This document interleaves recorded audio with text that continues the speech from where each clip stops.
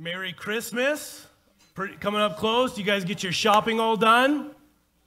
No? That sounds like a no to me. Praise the Lord. We we already celebrated half of our Christmas. We celebrated Thanksgiving. Many of you guys know my brothers are able to come over, and we were able to do that. And and uh, Monday, Christmas Eve, we liked it. We liked it. I don't know if you've heard any of my parents' stories, their their travels and and, and holidays. It's it's never rest. It seems like it's never restful for them. They always just all of a sudden just pick up and go and choose to go. And we're, we're deciding, you know what, we want to liven things up this holiday, so we're going to travel Christmas Eve, right? Airplane, go into an airport, have all that fun stuff take place, and, and that's what we're going to be choosing to do. So um, the Monday after, so I think that's the 24th. So next Sunday is going to be the 23rd. So we're going to be traveling. So just be in prayer for us there. That will be amazing. But we're going to move. We, we've been talking about um, being the salt of the earth, that you and I are salt, and that was our series. We just ended last week, and, and we're going to we're gonna kind of have some Christmas sermons and Christmas messages. So this morning, if you would turn your Bible to Matthew chapter 2, we're going to begin there this morning, and then I'll read from verses 1 to 12. And then we'll pray and kind of get going this morning. And, and it just, I don't know right now, but as of right now, it seems like it might be a little bit of a shorter message. Um, we will have goodies in the back, though, because that is in, in hopes and in kind of pressure that you guys will help us be able to set up the chairs and table for tonight so we don't all have to do that. Amen? We're a church family. We're excited about tonight, excited about the gift giving. It'll be fun and entertaining. And, uh, and let's, let's, let's read first. It says in, in verse 1, it says, Now after Jesus was born in Bethlehem of Judea in the days of Herod the king, behold, wise men from the east came to Jerusalem, saying, Where is he who has been born king of the Jews? For we have seen his star in the east and we have come to worship him. When Herod the king heard this, he was troubled, and all Jerusalem with him. And when he had gathered all the chief priests and the scribes of the people together, he inquired of them where the Christ was to be born. So they said to him, In Bethlehem of Judea, for thus it is written by the prophet. But you, Bethlehem, in the land of Judah, are not the least among the rulers of Judah. For out of you shall come a ruler who will shepherd my people Israel. Then Herod, when he had secretly called the wise men, determined from them what time the star appeared.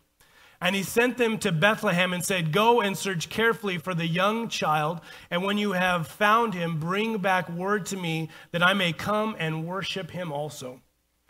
When they heard the king, they departed, and behold, the star which they had seen in the east went before them till it came and stood over where the young child was. When they saw the star, they rejoiced with exceedingly great joy.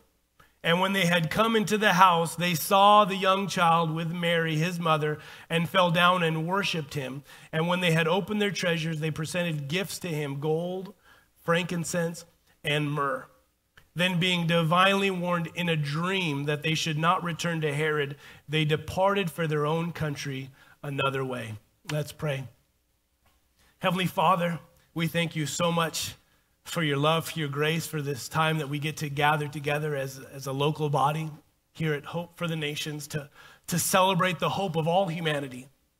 Your Son, our Savior and Lord Jesus. We thank you for your word, Lord, that, that it inspires, that it empowers us, that, that, it, that it gives us revelation as Holy Spirit enlightens it to us into our spirit. So we ask that you would bring revelation into our lives, that you would continue to change and mold us into your image, God. And I ask that you would anoint me to speak what you've given me, that you give me clarity. In Jesus' name, we thank you and we praise you, Lord, for all that you're doing. In Jesus' name, amen. I know for many of us, when uh, um, actually, let me begin with last week. Last week, I think I kind of started going off a little bit before um, I spoke on the finale of the, the salt covenant and, and speaking of salt and speaking that God is a covenant God about, about our lives, um, how we kind of sometimes in holidays and other events like that, like birthdays, that we kind of come into life with low expectations. We have these low expectations because of certain life experiences that we have that we have um, come across and certain things that have happened in our lives. And and when we are kids there seems to be so much glitz and glamour when there's a birthday or when there's a holiday or when there's christmas. And there's a level of excitement that takes place. And it's almost like i can't take it anymore. And i know that many of you guys were children that looked and snuck into those presents and opened them up craftily so you could actually see the next day what you were going to get but for some, oh, someone's already get, getting guilty. Praise the Lord. Conviction right here. Praise the Lord. But, anyways, that we have once had that level of expectation, that level of anticipation, but through the years, something has taken place in our lives. Almost that we have become um, um, just accustomed to the ordinariness of life. That is something that, that seems to have overtaken our culture, that we just continue to go through the ordinariness of life. We continue to go through the certain routines of life that, that we get up in the morning and we, we go off to work or we go to school and we do our thing out there and then we come home and, and either rest, eat a meal or two, and then we, then we go back to bed and we kind of start everything back over again the next day until, of course, we retire, and then we have to kind of form another routine for that pattern of life. But, but that we kind of just make up these routines of life, all, all, all the way knowing that we're just going to do everything that we've expected to do. Something that is just a routine. And, and I think that that can also be placed on our church life. Going to church, doing the same routine over and over again knowing what to expect, knowing what is asked of us, knowing what is going to take place. And I don't think that that is really what the Christian life is all about. I think that God is wanting something more, something to be able to do in our lives that breaks us out of that mundane life, out of the ordinariness, out of the routines of life, to where no longer our low expectations are what we're looking for and what is going to continually happen, but He wants to do something new in our life, something amazing. Can you say amen? Amen? The Bible says that we are to walk by faith and not by sight. And when I read that scripture, I don't think that that's just an ordinary life. I don't think that is just a routine of life that I'm just going to walk by faith and not by sight. I believe that God is wanting to do something to where we would actually grab a hold of it, to where He is going to do something unexpected in our lives the first time that I really kind of came into that level of living of low expectation, especially about holidays and birthdays, came when I graduated high school. I barely graduated high school, praise the Lord. And I thought, you know what? This whole school thing is not for me. I'm not going to go to college. I had no direction, no purpose, no drive in life. So I went and worked on a dairy for a year. I learned that that is not what I want to do the rest of my life. But what I learned doing that style of job is that you have to work on your birthday because cows always need to be milked twice a day. I had to, had to work the mornings of Christmas, the morning of Thanksgiving, the mornings of all these different holidays, and all of a sudden that expectation of what I used to think of all these holidays were all about, all of a sudden just started to melt away. And I think that has happened to, to some of us here this morning, if not most of us that the certain life experiences that we have faced in our life have kind of melted away the glitz and glamour and the joy and the celebration of these types of events, these types uh, of times we come in and celebrate Christmas. It reminds me of a story about a young individual. He went and saw a fortune teller. I don't know if, if this still happens, so this is an old story. He went and saw a fortune teller, and and kind of asked, What is my future? And this lady held his hand, looked at his hand, and, and, and looked at it for a while, then peered into his eyes and says, You're going to be poor and miserable until you reach 41 years of age.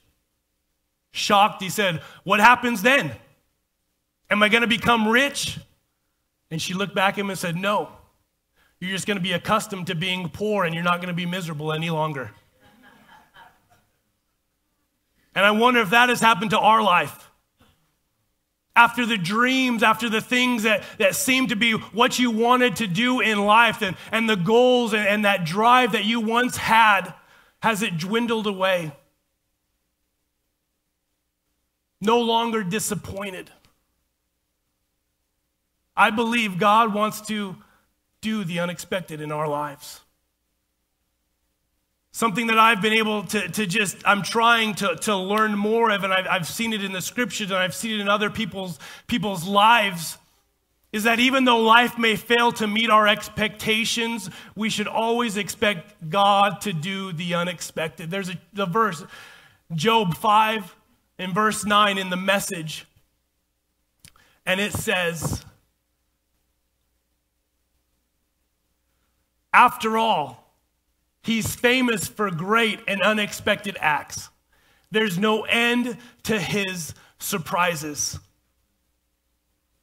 This message that I have for us this morning is expect the unexpected. Expect the unexpected from God. What does that mean? That means that the, the worst day that you may be in, the worst day that you've ever faced in your life, could be the very best day of your life when God gets a hold of it.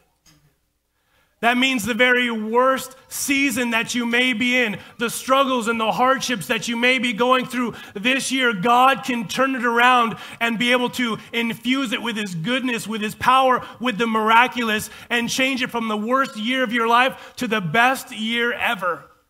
And that I believe is what God is wanting to do in our lives. That He is wanting to change our expectations so that we would be able to expect the unexpected.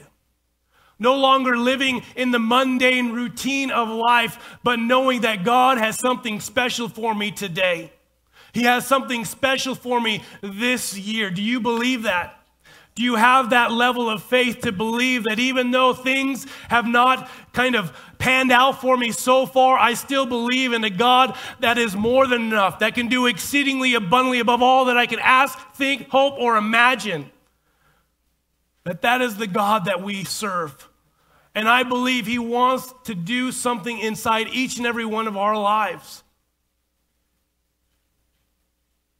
And that is what took place in Bethlehem over 2,000 years ago. An unexpected event that was expected for centuries. It caught people by surprise, but had been prophesied for centuries that they knew the Messiah was going to come, but they weren't ready for him when he actually did. And I'm wondering about your life. The things that you once expected from God, those things that you once were praying from God, those things that you knew God had spoken into your life. Are you still expecting them? And what's going to take place when not God actually brings those words to pass? Because his words do not fail, amen? Are we going to be ready for when the expected comes? Or is it going to be unexpected? Something I, I, want us to kind of get as we go into this message, which I think is so amazing. I love it something in Matthew 2, verse 12. It's at the very end of this story, and this is something I want us to be able to see because I think so often you and I, we can kind of come in um, into these Sunday Christmas services and we hope to get a warm, fuzzy feeling and just kind of go back and go about our daily lives.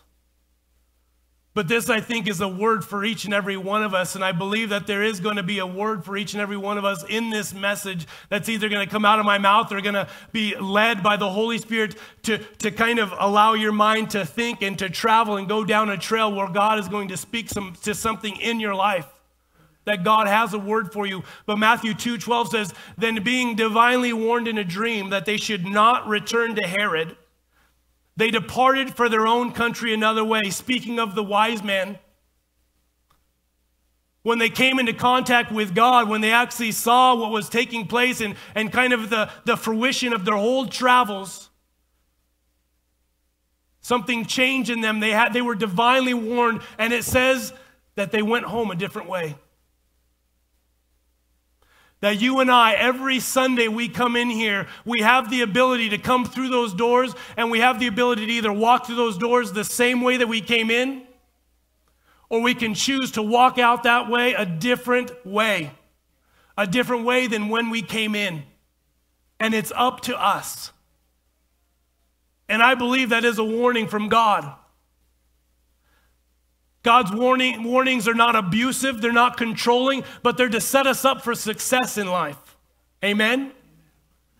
So often we think that when God's warning is because he's angry, he's judgmental, all this kind of stuff, but he wants what is best for your life.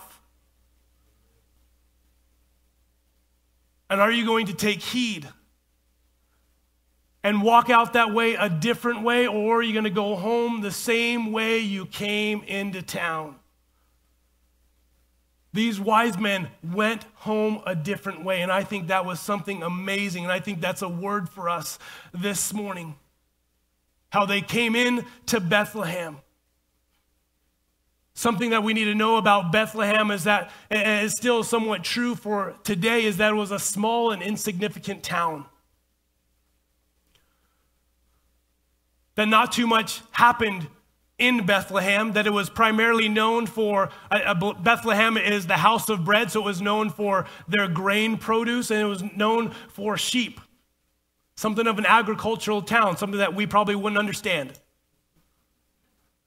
Small, insignificant. But something, if you actually study the Bible and start to dive into looking through Bethlehem, you'll discover that Jacob, who was later named Israel, buried his wife Rachel. Jacob married two wives, Leah first and then Rachel. It's an awkward story, but the one whom he loved, Rachel, that's where he buried her was in was in Bethlehem. Another story that took place in Bethlehem was the story of Ruth and Boaz. Where Ruth, a widowed foreigner, comes into town and meets this man, meets Boaz, and they fall in love and he starts to care for her, and he eventually marries her and takes care of her. Bethlehem is the birthplace of David. The man that the Bible says, is the man after God's own heart. Before he was a king, before he was even anointed king, he was a lowly shepherd boy out in the pastures in Bethlehem. Why am I sharing that about Bethlehem? Because I want us to hear this morning that even though you think that your life is small and insignificant, God can do an amazing thing in your life. Because this town that was small and insignificant was the very place that God wanted to be able to bring his true love into this world. His power, his redemption, his plan of forgiveness and purpose for humanity. And that is what God wants to do in each and every one of our lives that God has a plan and purpose for each and every one of us. Amen. That He has directions for our life. And I want us to go into this story and look what is so amazing about what took place with these wise men, where they were brought to a place of unexpected joy. What they were able to do in the process, in the journeys of life that we would be able to follow and be able to begin again to expect God to do the unexpected in our life. First thing I want us to, to answer this morning is what are you seeking? What are you seeking? Matthew 2, 1 through 3, 3 says, Now after Jesus was born in Bethlehem of Judea in the days of Herod the king, behold, wise men from the east came to Jerusalem saying, Where is he who has been born king of the Jews? For we have seen his star in the east and have come to worship him.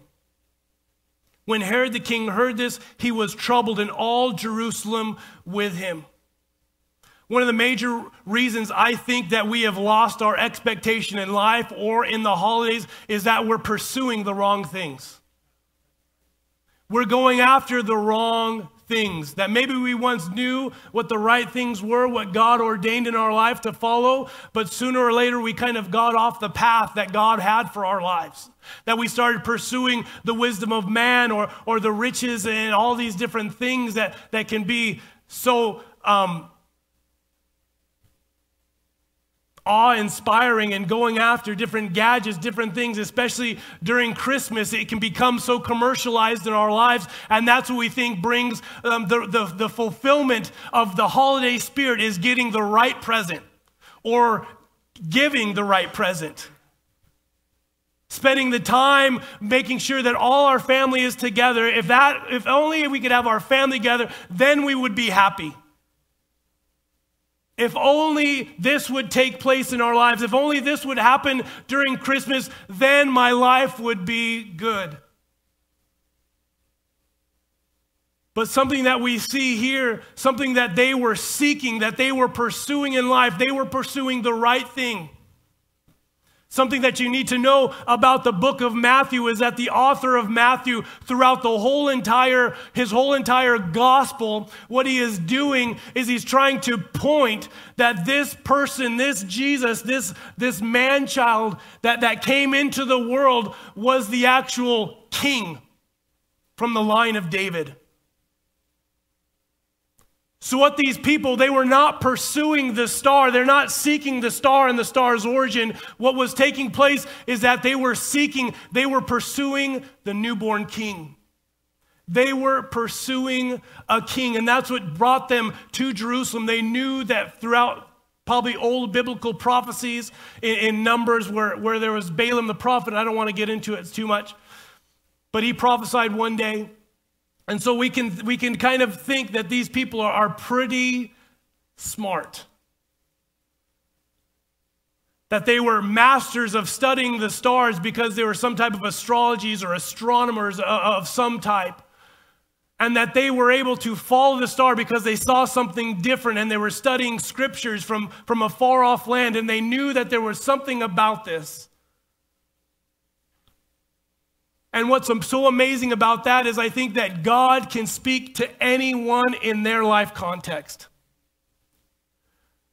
That these people that were worldly, these people that were foreigners, these people that were not a part of God's chosen people were able to get a, a, a desire and a passion to search out this new king through what they were practicing and some think that it was somewhat demonic for looking for answers in the stars and astrology, like some people do today with the different signs. But God was able to speak into their life context and bring a change and to bring a desire for them to start seeking something. That God can do that in each and every one of our lives, that God can come into our life and use an ordinary situation and turn it into an extraordinary life changing event. That God can do that in our lives, but do you believe it? So they went searching in hopes to find this new king of, uh, of the Jews in Jerusalem, the capital city, to the palace. But when they got to the palace, they were disappointed. They expected to meet the newborn king in a palace in the capital, in Jerusalem, and they were disappointed. Something that is profound that I think that takes place is that even when they didn't find him there, they kept going. in your pursuit of, of, of God, in your pursuit of walking out what He has for you, in your pursuit of fulfillment in life, and coming up to disappointment, because I know we've all faced disappointment. Has that stopped you in your tracks to no longer pursue anything, pursue God, pursue what He has for your life?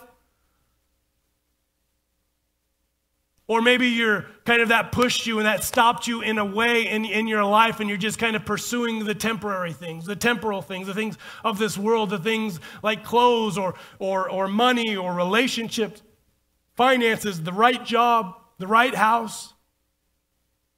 Are you still seeking for purpose?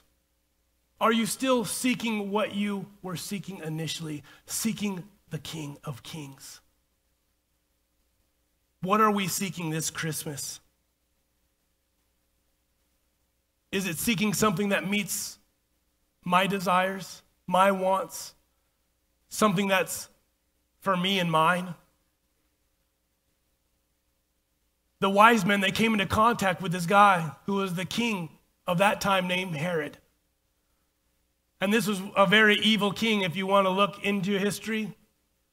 Anyone that tried, that, that, that he thought was going to dethrone him or could possibly dethrone him, he had killed. His wife, his mother in law, to some that might not be that bad. I'm just playing. Three of his kids, and a score of other people. His third son that he had killed was five days before he died. Knowing that death was at his doorstep, he still thought that this son of his was going to be a threat to his throne and he had him killed.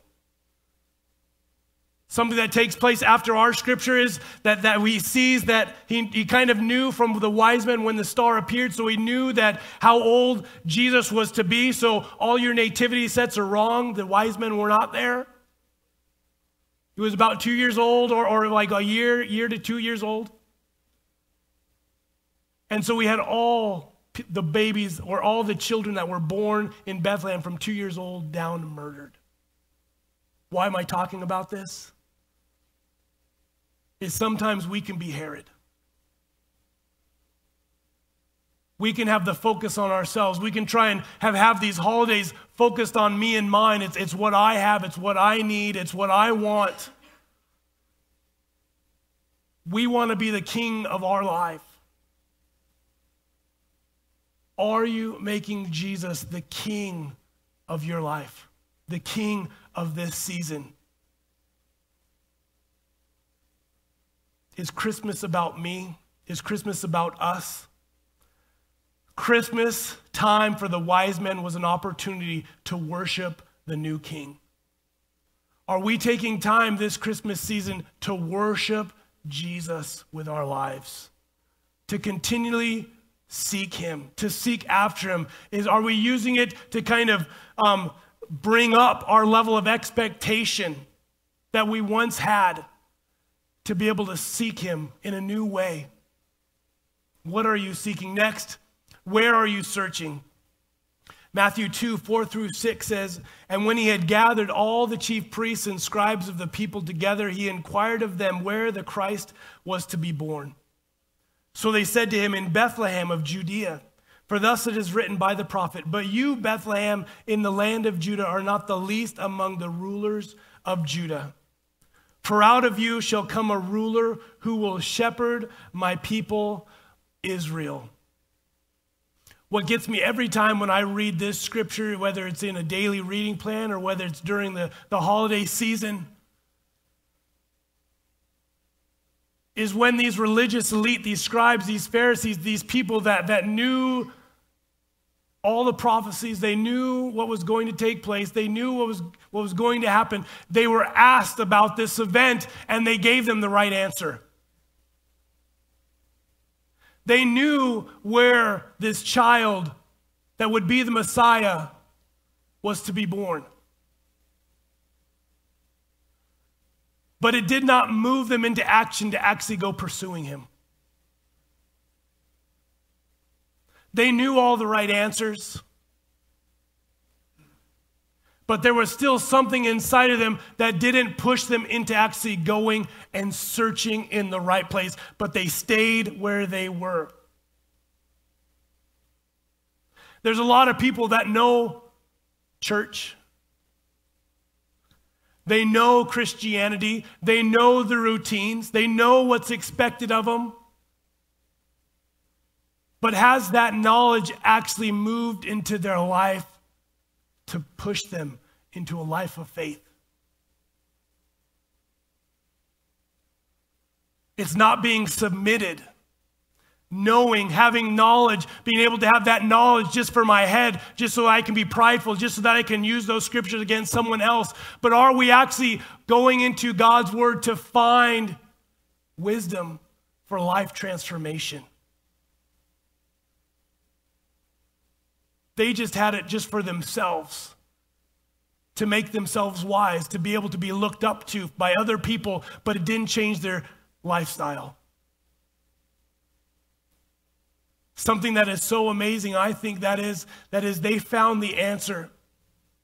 They eventually found their answer and where was it at? It was in God's word. It was in the scriptures. And even though it, they caused them to, to cause disappointment in their life of what they expected, where they were expecting to go, that the answer came in God's word, that it came in the scriptures. And I know it might sound too old school, it might sound too Christian, it might sound, too simple for some, but are you making time for reading your word? For getting answers, for getting direction for your life. They got direction for their life to where Jesus was, who he was through the scriptures. They found direction for hope, for direction for forgiveness, direction for life in the scripture. Are we making time for God's word? Just because we may know something to be true doesn't mean it's invaded our heart and moved us to faith in Christ. Just because we know this may be the right thing, we know the Bible's true, is it actually moving us into faith to really studying things out, believing it, having it impact our lives so it's changing the way we live, changing the way we act, changing how we have relationships with other people, changing how we think when we're at our workplace, changing how we use our finances? Are we allowing God's word and Holy Spirit to bring conviction and change into our lives? Something that, that, I, that I think that we kind of get a mis- misconception about when, when conviction comes is like we don't want to be wrong. I don't want other people to see me. I don't, I don't want, you know, I don't want to, to, I don't want to be, have that wrong attitude. I don't want to be wrong in, in how I'm living. So I'm just going to keep going and going, even though conviction comes. What conviction is, is God is wanting to set you up for success that he's trying to stop you in a certain direction because it's leading you down a path of destruction. And when we get conviction from the Holy Spirit, it brings us and changes us and realigns our purpose, realigns our, our direction in life. So if you get convicted on a Sunday morning, don't be scared to come up and ask for prayer by somebody. God is wanting to do something in your life. And I know it could be, might be humiliating, but God's, God, God resists the proud and gives grace to the humble, the Bible says. So maybe you need to ask someone else. Maybe you need to confess something to someone else. That God is wanting to change our lives and transform our lives into what He wants to do a life of purpose, a life of meaning, a life of fulfillment. Are we allowing our lives to move in faith? Not just trying to gain some head knowledge, but actually allowing it to transform our life and move us into faith. The wise men set their hearts to searching. Where are you searching this morning? Where are you searching for hope? Where are you searching for meaning? Is it in a relationship? Is it at your job? Just, I wish I had more money. I need more money. Is that where you're searching for meaning, for hope? Maybe an education. Is that where you're searching? Are you searching in the right place this morning? See, the wise men, they set their hearts to searching searching in spite of disappointments, in spite of what others were saying, in spite of what culture was doing, they still kept searching. Are you still searching for Jesus, or have you given up the search because of disappointment and just given in to other things around you? I wrote some ideas of, of where we could be searching, where we can find ourselves searching, all the different directions. We can, we can search at talk shows, media the latest gadgets and devices. We can look to our job, look to our family, look to Fox News or CNN. We can even look to our culture.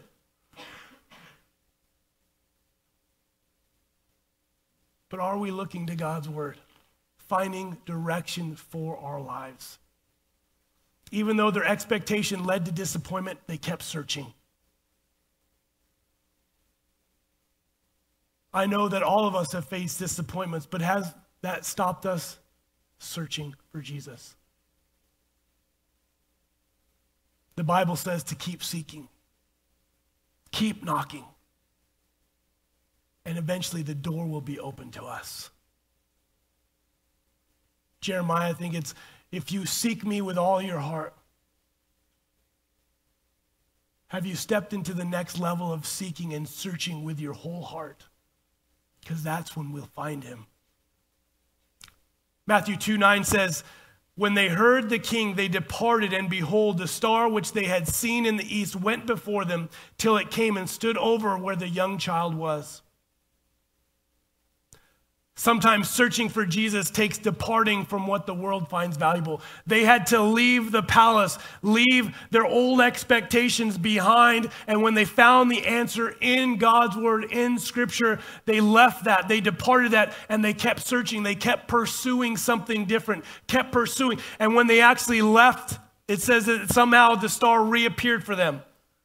Something that they saw take place. They saw the star rising in the east, and when they came to Jerusalem,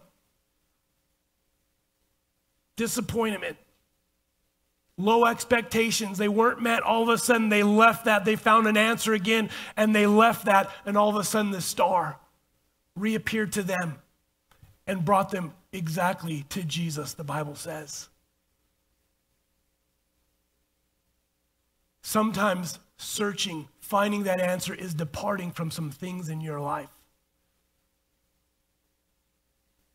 Departing from what the world deems as valuable, worldly wisdom, that he left the palace, he left where all the things were taking place for that area of life, left that culture, and they departed that, and that's when that star came back and pointed them to the right place. What are some things that this season of life that you need to depart from? To be able to get back on the right path that God has for you? What are some things that could be hindering your life from pursuing Jesus this season? From being able to expect the unexpected that He has for us, to expect God to do a mighty work in our lives? Are we still stuck in some issues, stuck in some things that God has told you to step away from long ago? What are you pursuing? Searching God's word brings direction to Jesus, direction to hope, direction to fulfillment, direction to forgiveness. What are you willing to give? Matthew 2:11 says and when they had come into the house they saw the young child with Mary his mother and fell down and worshiped him. And when they had opened their treasures they presented gifts to him gold, frankincense, and myrrh. Throughout the Bible, we see that giving is an expression of worship. Whenever there was a time that someone worshiped God in the Bible, that there was a time of giving. We see that the wise men, in their act of worship, was manifested in their giving. Worship comes from the value of what something is worth. Does anybody know what the motto of Hallmark cards are? When you care enough to give the very best. That's God's motto. Because he cared enough to give the very best. That is true agape love, God love, that he would give the very best for us to humanity. And that is what he's asking us to love God, to worship God, is to give him our very best. The level of our expectation is directly related to what you are willing to give. What are you willing to give? What are you willing to give? Matthew 2:11 speaks of the wise men. It says that they opened up their treasure and they presented gifts to him. This doesn't speak of, of, of, of, some little box of gold like we're so accustomed to seeing or some box of frankincense and myrrh. It's talking about a treasure, a great retinue that there was, there was probably a lot of, I mean, it's going to be a lot of people, a lot of camels. It's that they opened up their treasure. They opened, what, what about our lives? Are we opening ourselves up and giving God our best? Opening up our treasure opening up our heart, opening up our life, and giving Him our gifts.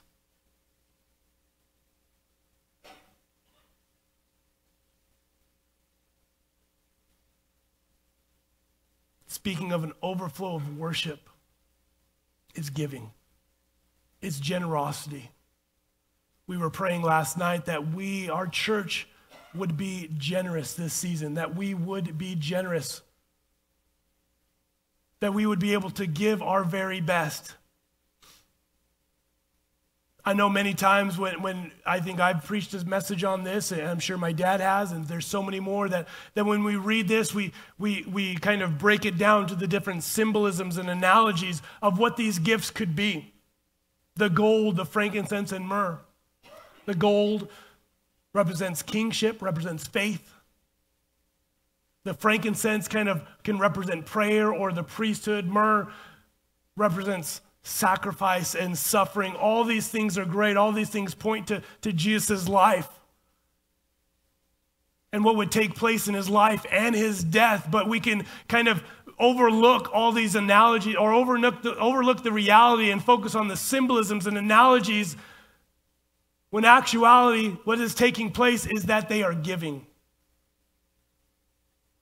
They are giving. A life of worship is a life of giving. Someone once said, if you haven't given God something, then you haven't worshiped. So, what do we give? What do we give as worship? We give praise, honor, thanks, ourselves, our hearts, our lives, our money, everything. Yes to all those. But there's one thing that if it's missing, then it's not worship. I've already mentioned it. That one thing that is true worship is giving our very best. It's not giving God leftovers, it's giving God our best. Are we giving God our best time throughout the day to spend with Him? Are we giving God just leftovers of maybe some change we have in our pocket, or are we giving Him our best?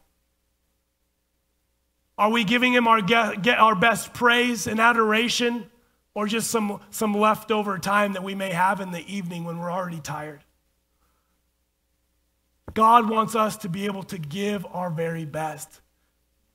When we give and open up ourselves, open up our treasure, open up our hearts, and we give of ourselves, of our very best, that is when we can begin to expect the unexpected that God wants to open and do in our lives. Amen. That is what God has for our lives. That He is famous for doing the unexpected.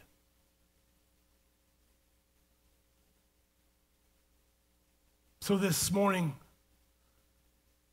my heart's desire is that you would ask Holy Spirit to convict you in some areas, to show you, am I seeking the right thing? Am I searching in the right place?